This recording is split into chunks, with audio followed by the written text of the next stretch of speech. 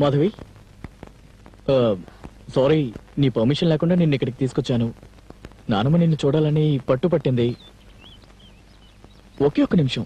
చూసి వెళ్ళిపోదా. ప్లీజ్. ఆవు బేటీ బామ్మని పిలుస్తున్నాను కదా భయపడకున్నారా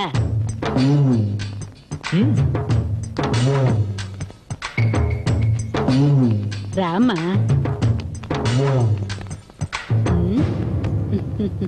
మాధవి నాయనమ్మ చెయ్యి. చాలా చాలా గొప్ప చెయ్యి. ఆవిడ చేత బొట్టు పెట్టించుకొని ఆశీర్వాదం తీసుకో. ఆవు ఏ సింధూర్ జల్దీ.